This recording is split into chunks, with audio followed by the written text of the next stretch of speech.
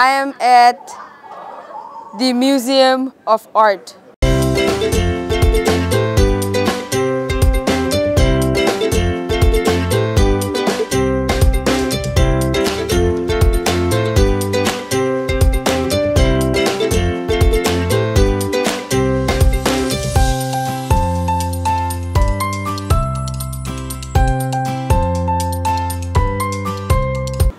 Feel good, exciting.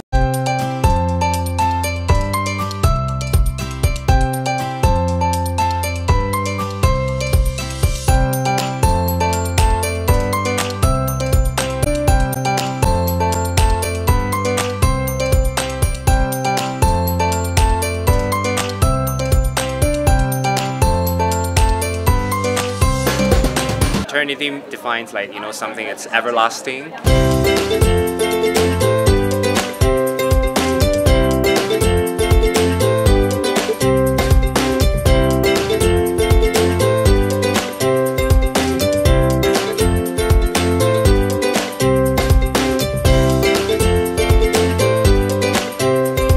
Eternity is something that you know um, you, you treasure the most.